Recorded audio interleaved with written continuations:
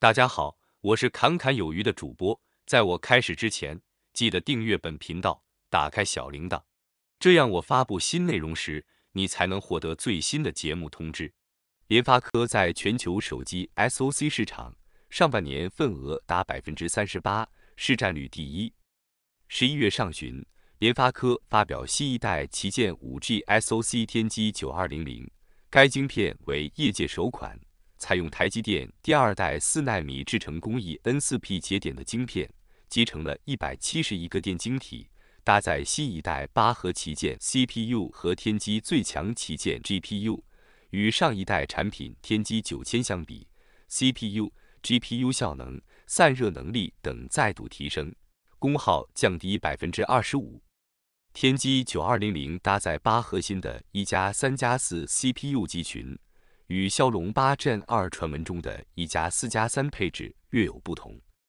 无论如何，联发科声称，与天玑九千相比，最新的旗舰晶片组的单核效能提高了百分之十二，多核效能提高了百分之十。该公司还表示，它采用了新的散热层，可以防止晶片快速升温。天玑九二零零采用 ARM 的 Cortex X 三，运行频率为三点零五 G。效能核心全部支援纯六十四位元应用，还具有八 M 三级快取、六 M 系统快取。当高效能内核在要求苛刻的应用程式中受到压力时，搭载该晶片的手机是否能够保持该时钟速度还有待观察。其他三个内核属于运行频率为两点八五 G 的 Cortex A 七幺五。其余四个由运行频率为 1.8G 的更高效的 Cortex A510 内核组成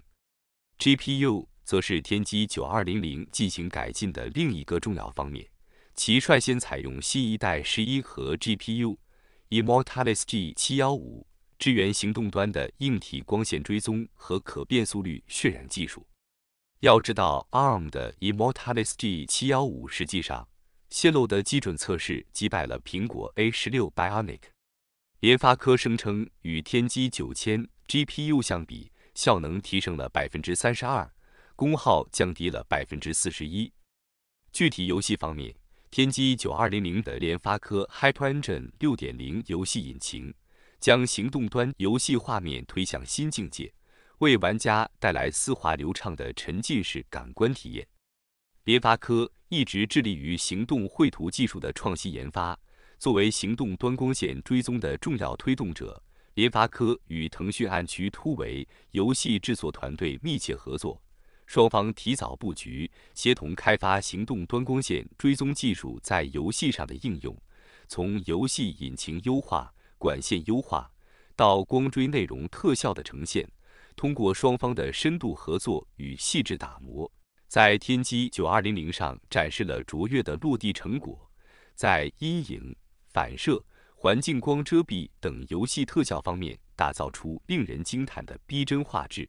带来身临其境般的视觉体验，加速行动端光线追踪技术的游戏商用进程。随着天玑九二零零的发表，联发科还发表了全新的游戏自适应调控技术 MAGT。可降低高帧率游戏的功耗和手机的温度，让满帧运行更持久。王者荣耀作为该技术的首个战略合作伙伴，双方团队共同探索并打造了手机终端与游戏自适应的先进科技。通过高效的 MAGT 架构，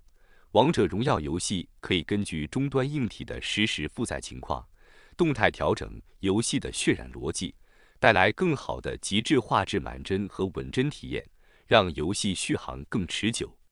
天玑九二零零还搭载联发科 Mira Vision 八九零行动显示技术，支援全场景高品质 HDR 显示，呈现赏心悦目的影像细节，还可适配广泛的终端荧幕设计，包括高效能游戏荧幕、高解析度荧幕和可折叠荧幕，支援高达两百四十赫兹的 FHD Plus。高达一百四十四赫兹的 WQHD，以及高达六十赫兹的两个二点五 K 面板的五 K 折叠机。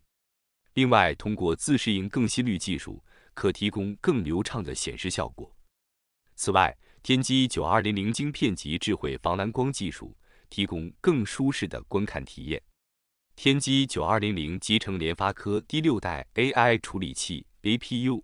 高能效 AI 架构不仅较上一代提升了百分之三十五的 AI 效能，还可降低各类 AI 应用的功耗。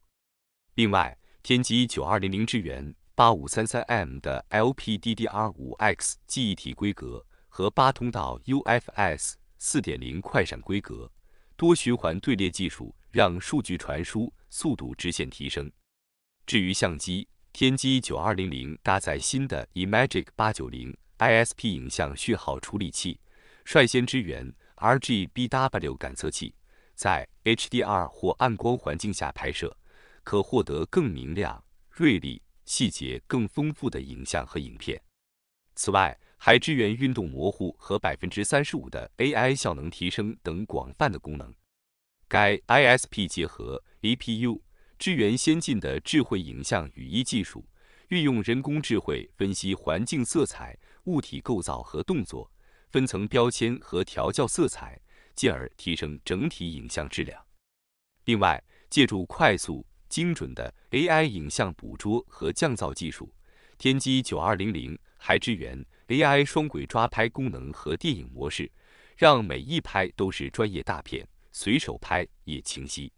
在多媒体方面，天玑九二零零尽显联发科多年积累的技术硬实力，率先支援二十四 bit 幺九二 K 赫兹的高清音讯编解码，以至高八 M 蓝牙速率带来录音室级的高保真蓝牙音质。值得注意的是，最新带有工作室级无线音讯的蓝牙五点三和新世代蓝牙音讯 LE Audio，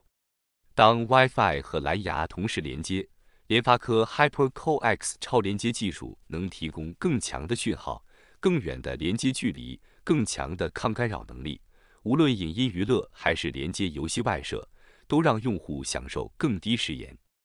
在网络方面，作为全球无线通讯晶片方案的领先厂商，联发科一直走在通讯技术前沿，不仅深度参与标准的发展和演进，更积极投身于推动市场普及。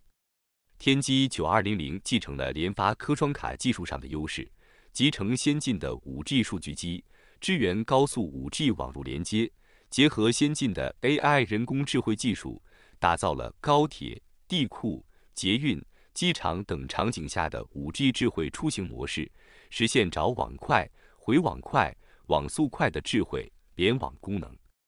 另外，还推出五 G 新双通。支援更多网络制式，一百多个频段组合，可让同频段网速更快。同时，天玑九二零零率先支援即将到来的 WiFi 七无线连接，网络传输速率理论峰值可达每秒六点五 G。联发科特有的 UltraSave 省电技术也从五 G 连接延展至 WiFi，带来更完整的低功耗通讯解决方案。联发科总经理表示。天玑旗舰 5G 行动晶片是联发科创新之路上的里程碑之作，致力于将高效能、高能效、低功耗塑造为天玑旗舰产品的基因级特性。希望用天玑的最强产品赋能行动终端，带给数位科技爱好者以颠覆性的旗舰体验，开启旗舰行动市场的新篇章。联发科副总经理暨无线通讯事业部总经理表示。天玑九二零零兼顾高效能和低功耗，助力终端延长电池续航，并带来更出色的温控表现。通过显著提升的游戏效能、通讯能力、影像科技和多媒体技术，天玑九二零零将为旗舰智慧型手机带来无限可能，同时也适用于折叠机形态的行动终端设备。联发科这次发表天玑九二零零旗舰五 G 行动晶片。凭借在高效能、高能效、低功耗方面的创新突破，以冷静的全速体验为用户导向，为行动市场打造全新旗舰标杆 5G 晶片。除了天玑九二零零，台积电的第二代四纳米工艺也被用于量产晶片组最接近的竞争对手高通骁龙八 Gen 二。天玑九二零零这次同样支援联发科天玑开放架构。可与终端厂商深度协同合作，为搭载天玑九二零零的终端设备带来更具个性化、差异化的用户体验，释放旗舰强大潜能。而 vivo 也在其二零二二开发者大会上宣布，将全球首发联发科天玑九二零零旗舰处理器，其余采用天玑九二零零旗舰五 G 行动晶片的智慧型手机，预计将于二零二二年底大量上市。届时，天玑九二零零的市场表现值得一众玩家拭目以待。最后，特别感谢 TSOSAM 的再次超级现金鼓励，侃侃很感激。那么本期影片到这里就结束了，感谢你的观看，期盼能与你产生共鸣。侃侃而谈，阔论有余。最后，请你点赞、订阅，这是对本频道最大的支持了，谢谢。